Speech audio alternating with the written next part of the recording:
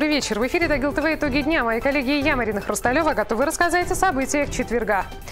1 февраля стартует прием заявлений в первые классы. Новшество этого года – преимущественное право зачисления детей, проживающих в одной семье и имеющих общее место жительства в одно образовательное учреждение. В Свердловской области появится карта видеокамер. Она поможет искать пропавших людей. Ее составлением занимается поисковый отряд «Лиза Алерт». Вечер памяти Изы Высоцкой прошел в Нижнем Тагиле. В кинотеатр «Красногвардеец» приехали друзья, знакомые, а также родственники заслуженной артистки России.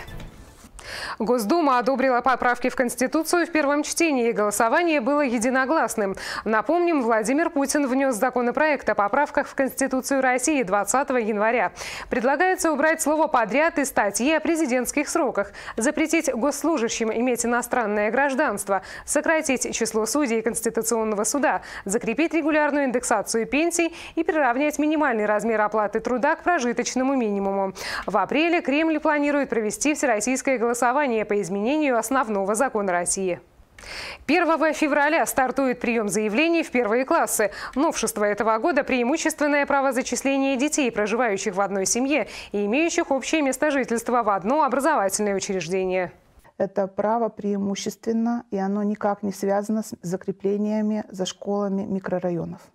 То есть братья и сестры поступают у нас независимо от того, закреплен адрес за школой или адрес за школой не закреплен. Чтобы воспользоваться преимущественным правом зачисления детей в одну школу, нужно предоставить паспорт родителя либо законного представителя, свидетельство о рождении детей, а также справку, подтверждающую общее место проживания. В этом году в Нижнем Тагиле ожидается 4800 первоклассников. Это на 200 больше, чем в прошлом. Подробнее о правилах подачи заявлений можно узнать на сайте Управления образования администрации города. Два пожара произошло сегодня ночью в Нижнем Тагиле. Одно из возгораний на улице Грибоедова в муниципальном муниципальной пятиэтажки на площади 1 квадратный метр горел мусор. Огнеборцы справились с пожаром в течение трех минут. В ходе предварительного расследования было установлено, что согласие жителей дома в подвальном помещении был расположен пункт приема вторсырья. Неизвестный незаконно проник в здание, похитил денежные средства и поджег помещение. Вскоре преступник был задержан и доставлен в отделение полиции. Пламя повредило обшивку труб водоснабжения. Жильцы дома не пострадали. А вот пожар, который произошел часом позже, унес унес жизни двоих тагильчан. На Северном шоссе горел киоск. Работники охраны, расположенные по соседству, увидели пламя, а позже услышали хлопок. Произошел взрыв газового баллона. Очевидцы вызвали огнеборцев. На место прибыли 9 единиц техники и 25 человек личного состава. Пожару был присвоен повышенный ранг сложности. По предварительным данным, причиной происшествия стало короткое замыкание электропроводки. В ходе тушения, разборки и проливки было обнаружено двое погибших – мужчина и женщина. Организована проверка личности погибших, и обстоятельства устанавливаются. В Свердловской области появится карта видеокамер. Она поможет искать пропавших людей. Ее составлением занимается поисковый отряд «Лиза Алерт». Идея заключается в том, чтобы собрать информацию о наличии камер на разных объектах – подъездах, магазинах, стоянках и обращаться к их хозяевам за помощью при поиске. Либо люди идут и осматривают здание в поисках видеокамер, либо мы уже сразу знаем, что нужно позвонить такому-то человеку, спросить, и он либо сам предоставит доступ, либо нужно, чтобы к ним позвонил или зашел полицейский. Соответственно, это просто экономится время на поиске. А время поиска – это один из самых важных факторов. Поисковый отряд «Лиза Алерт» разместил в социальных сетях опросник, в котором можно отправить информацию о камерах наружного наблюдения. Помочь в составлении карты может каждый. Как добиться успеха, где лучше всего отдыхать и как избавляться от стрессовых ситуаций. Об этом и многом другом рассказывают педагоги городского дворца детского и юношеского творчества на классных встречах. Подробности в сюжете Дениса Лаврова. Еще одна классная встреча прошла в городском дворце детского и юношеского творчества. В рамках проекта «Школьники» получат уникальную возможность лично пообщаться с деятелями культуры, учеными, спортсменами, общественными деятелями, а также заявить о себе. Мне понравилась эта встреча, потому что э, я узнала о, больше о правилах дорожного движения. Мне понравилось поговорить с педагогом, задать какие-то интересные вопросы, на которые мне ответили. А, мне бы, наверное, хотелось больше узнать о повседневной жизни педагога, потому что здесь все-таки говорили про профессию больше. Классные встречи – это один из ключевых проектов российского движения школьников, стартовавший в сентябре 2017 года. На его основе сотрудниками городского дворца детского и юношеского творчества был запущен собственный проект. В музее я работаю с 1 марта 2019 года, и мне очень хотелось организовать какой-то проект. Детей у меня своих нет в музее, поэтому совместно с Яной Николаевной мы решили организовать проект, а, который называется э, ГДТЮ «Флагман российского движения». Э, классная встреча. Мы запустили этот проект э, в сентябре. Встреча проходит раз в месяц. Каждый раз мы приглашаем кого-нибудь из наших педагогов, приглашаем школьников, которые входят в состав российского движения школьников. Педагоги городского дворца детского и юношеского творчества с удовольствием посещают классные встречи. Для них это не просто опыт работы с детьми, это возможность рассказать о себе и поделиться полученным опытом с подрастающим поколением. Я очень волновалась, честно вам скажу, но ребята, мне кажется, очень заинтересованы были, очень внимательны, задавали вопросы. Э, с ними я провела э, такой турнир «Гений дорог», где они отвечали на вопросы. Э, мне кажется, что встреча удалась, я получила удовлетворение. Денис Лавров, Михаил Корзняков, Павел Соложнин, Новости Тагил ТВ. Художественном отделении Нижнетагильского социально-педагогического института прошло открытие выставки конкурса, посвященного юбилею уральского писателя Павла Бажова. Юные художники представили более двух тысяч работ, из которых на экспозицию попало только 58. Подробности в сюжете. В художественном отделении Нижнетагильского государственного социально-педагогического института прошел завершающий этап выставки конкурса, посвященного юбилею Павла Бажова. В экспозиции приняли участие 53 образовательных учреждения.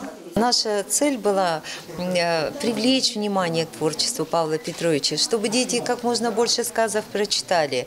Ну а когда дети наполнятся какими-то знаниями, что-то новое, интересное о своем крае узнают, конечно, появляется такая потребность выразить вот свои знания. И мы предложили поучаствовать э, в выставках художественных работ на тему сказов Бажова. В образовательных учреждениях были проведены выставки. Жюри выбирало самые необычные и интересные работы. Так из 2000 на экспозицию попало только 58. Факультет художественного образования а, вот уже как 60 лет мы отметили, является центром художественного образования. Поэтому для нас важно а, принимать участие в жюри подобных выставках. И мы гордимся тем, что нам предлагают э, принять у себя эту выставку. В составе жюри преподаватели кафедры заслуженные художники и кандидаты педагогических наук. Зрители, побывав на выставке, тоже могут повлиять на исход голосования. Результаты станут известны в конце месяца. Екатерина Лагвиненко, Вадим Мусков, Павел Солженин. Новости Тагил ТВ. Центральной городской библиотеке открылась выставка, посвященная Дню ручного письма. В витринах книги из фонда. Здесь можно увидеть письма Александра Пушкина, рассмотреть почерк Чехова и попробовать прочитать письма Бориса Пастернака Крильке, а также других известных писателей и художников. Кроме того, в экспозиции представлена коллекция ручек директора Дома учителя Натальи Миханушиной. Коллекция моя началась совершенно случайно. Когда-то в 2000 году, когда в Нижнем Тагиле проходила первая выставка вооружений и военной техники, муж, работая на этой выставке, принес промо-набор. Календарик подарил сыну, дочери подарил блокнот с логотипом выставки, чтобы она дальше писала стихи, ну а мне как педагогу ручку. Через год повторилось все то же самое – Затем как-то появлялись ручки с его работы. Я посмотрела, они такие разные, они такие интересные. Сегодня день ручного письма, день почерка. И зная мою коллекцию, ко мне обратились сотрудники Центральной библиотеки представить на выставку какие-то экземпляры. Здесь представлена небольшая часть моей коллекции, всего 288 штук. Выставка «Писать нельзя печатать» будет открыта в Центральной городской библиотеке до середины февраля. Талантливый музыкант, а теперь еще и блогер Александр Власов приехал в Нижний Тагил. Не один с ансамблем «Калинка». Творческий коллектив снимает музыкальную программу с балалайкой по селу. Подробнее в нашем следующем сюжете. Музыкой стал заниматься от скуки. Ну вот, э, скажите, вы же, наверное, не зря сюда с баяном приехали. Вы нам что-то исполните? Да? С песнями и плясками по городам и селам Свердловской области Александр Власов с ансамблем «Калинка» путешествует с лета прошлого года. Побывали в Левихе, Арамиле, Шиловке, Горноуральском. На этот раз творческий коллектив приехал в наш город. Сегодня ансамбль «Калинка», съемочная группа, приехала в Дом культуры железнодорожников имени Гагарина. В ансамбле «Калинка» вся семья Александра, жена и пятеро детей. В родном поселке Власовы держат большое хозяйство, огород, корову, кур. Находят время и на творчество. Не так давно появился свой канал на YouTube. На нем Власовы транслируют собственную программу с балалайкой по селу, которая уже насчитывает пять выпусков. Таких людей, вот таланты, это мы, наша идея ездить и раскрывать таланты. Во время визита в новый населенный пункт Александр знакомится с местными ансамблями и творческими коллективами, а затем рассказывает о них подписчикам.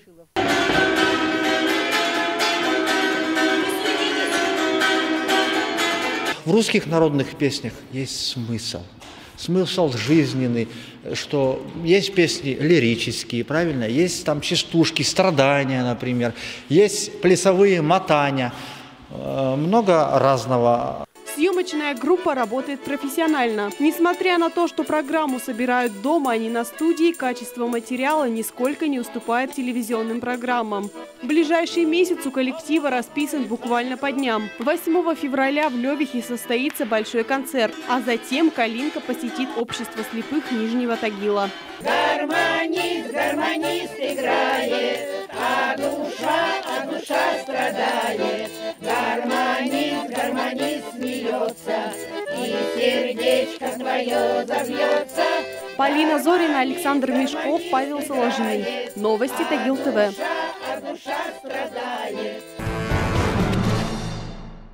Вечер памяти Изы Высоцкой прошел в Нижнем Тагиле. В кинотеатр «Красногвардеец» приехали друзья, знакомые, а также родственники заслуженной артистки России. Подробнее в репортаже Дениса Лаврова.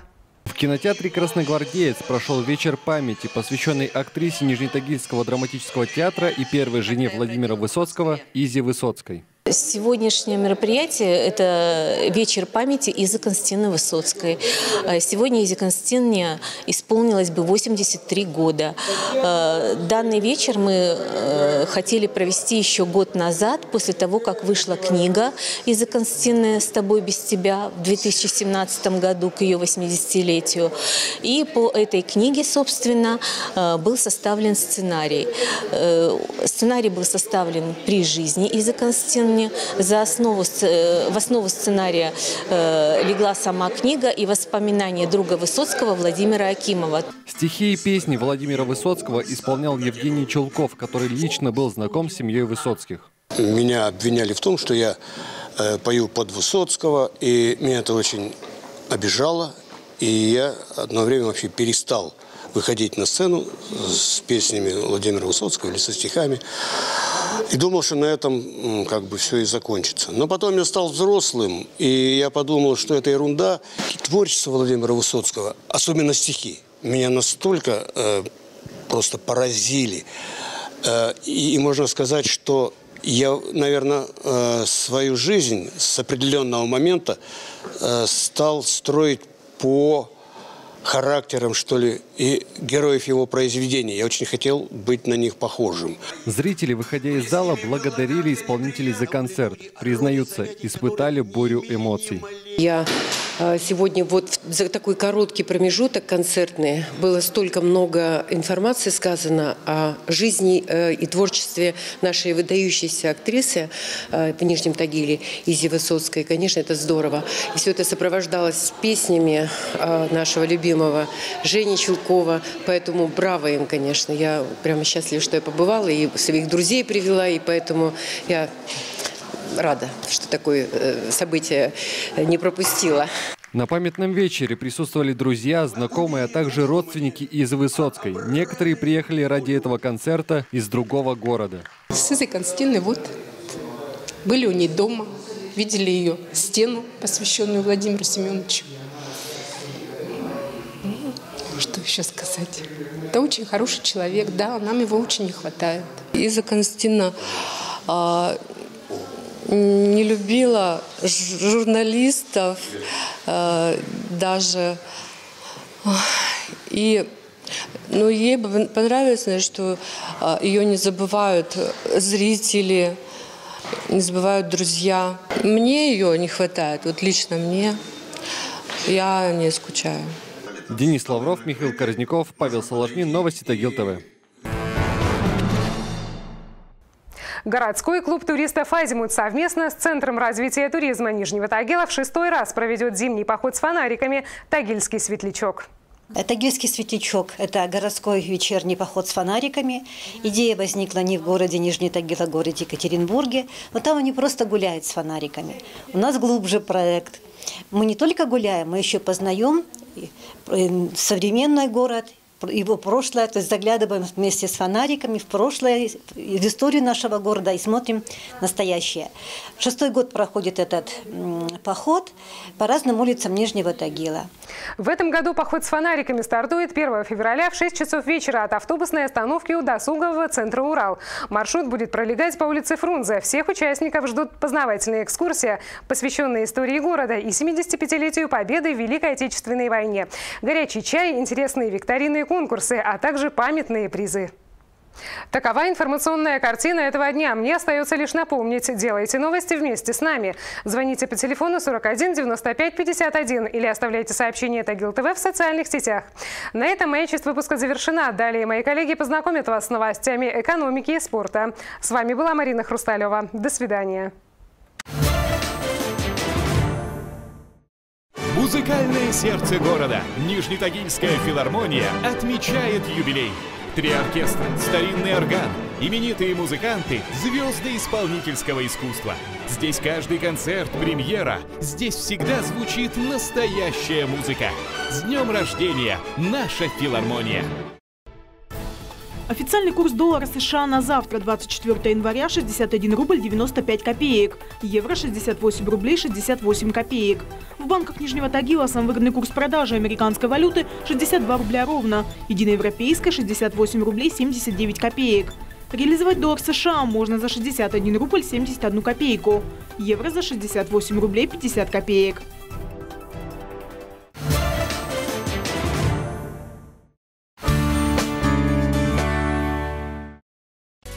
Рубрику представляет компания «Синегорье». Тагильские легкоатлеты стали призерами первенства Уральского федерального округа. Соревнования среди спортсменов до 20 и до 23 лет завершились накануне в Челябинске. В младшей возрастной группе второе место в беге на 60 метров занял Александр Маньков из спортшколы Олимпийского резерва «Спутник». Дарья Сурова четвертая на дистанции 400 метров. Арина Моторина, представлявшая юность, замкнула восьмерку сильнейших. Андрей Леонтьев из Юпитера шестой на 400 метров метровке. Среди спортсменов до 23 лет серебряная награда в спринте у Алексея Токарева из «Спутника». Ксения Пензина из спортивной школы «Старт» стала бронзовым призером в беге на 3000 метров.